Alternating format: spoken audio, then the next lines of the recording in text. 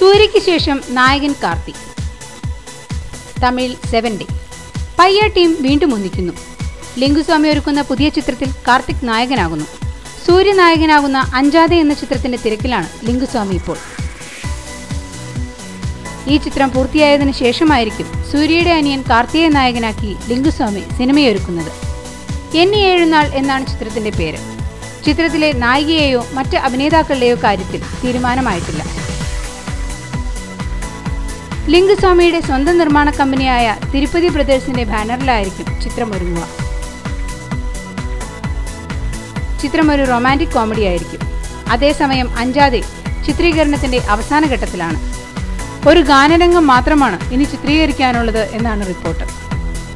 ഓരോ പ്രധാന വാർത്തയും ഇന്ത്യ ടിപ്സിലൂടെ അറിയാൻ ഞങ്ങളുടെ ഫേസ്ബുക്കിലും ട്വിറ്ററിലും അംഗമാകും